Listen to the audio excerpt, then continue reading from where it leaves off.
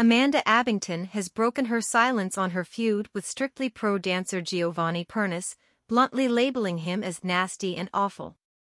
Allegations of threatening and abusive behavior by Giovanni during training have surfaced, leading to an internal BBC investigation, which he vehemently denies.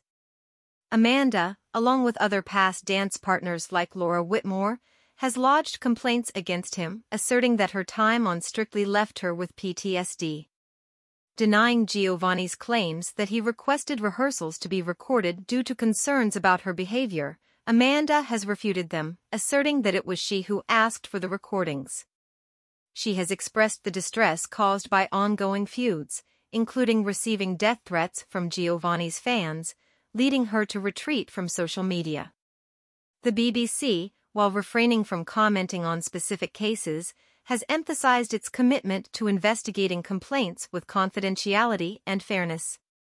Meanwhile, Giovanni's support on social media remains strong, with former partner Debbie McGee publicly showing her solidarity.